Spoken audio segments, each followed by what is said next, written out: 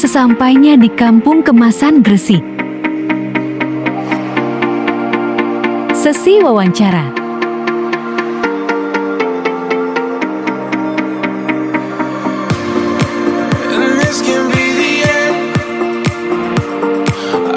Foto pendiri Kampung Kemasan.